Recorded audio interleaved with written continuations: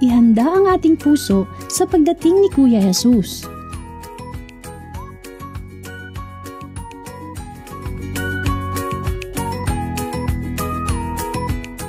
Ang mabuting balita ng Panginoon ayon kay San Marcos.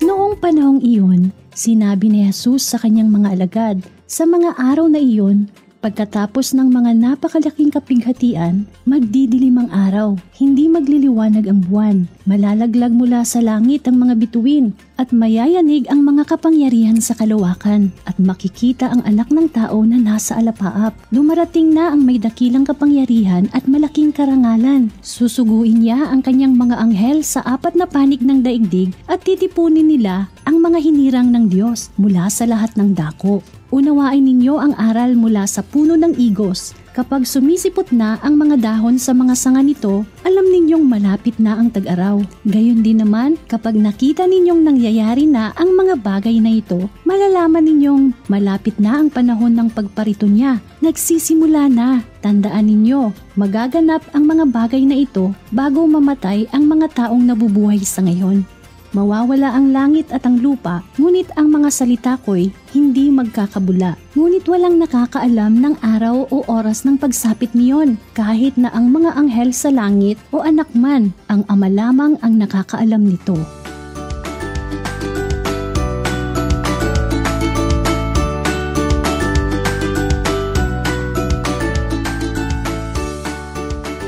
Bawat tao ay may mahalagang araw sa ating buhay mga bata. Halimbawa, Pasko, Bagong Taon, o kaya'y ating kaarawan. Tuwing sasapit ang mga mahalagang araw na ito, pinaghahandaan natin itong mabuti. Kaya naman bumibili tayo ng magagandang damit, nag-aayos tayo, at naglilinis ng ating bahay. Sa ganitong paraan na ipapakita natin ang ating kasabikan at kahandaan sa nalalapit na mahalagang araw na ito ng ating buhay. Sa ating kwento sa linggong ito, Sinabi ni Kuya Jesus na darating ang araw na makikita siya ng mga tao na dumarating sa mga ulap na may kapangyarihan at kaluwalhatian. Sinabi niya sa kanila na sa araw na iyon ay ipapadala niya ang kanyang mga anghel upang tipunin ang lahat ng mga tao at iuwi sila sa langit upang makapiling niya magpakailanman. Ang muling pagbabalik ni Kuya Jesus ay araw ng tagumpay ng Diyos laban sa kasamaan. Hindi ba't napakahalaga at napakaganda ng araw na iyon? Sinabi niya na walang nakakaalam ng araw ni oras. Ang ama lamang sa langit ang nakakaalam. Kung hindi natin alam kung kailan siya darating, paano tayo magiging handa? Inaasahan ni Kuya Jesus na tayo ay maghanda sa kanyang pagbabalik sa pamamagitan ng paggawa ng mga bagay na nagpapakita ng gawain ng pagmamahal sa isa't isa.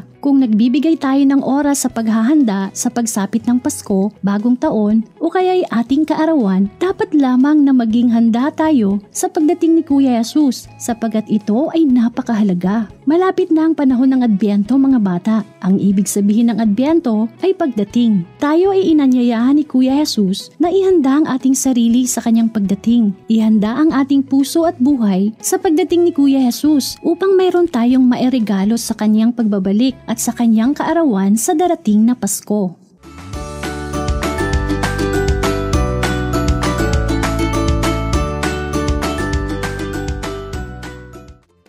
Natin maipapakita ang paghahanda sa pagdating ni Kuya Jesus sa ating buhay?